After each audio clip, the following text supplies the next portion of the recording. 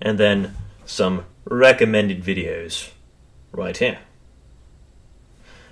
Thank you for watching. And I don't know why I'm talking in a British accent, but I am right now. I don't know how good it is, but I mean, we could go to French.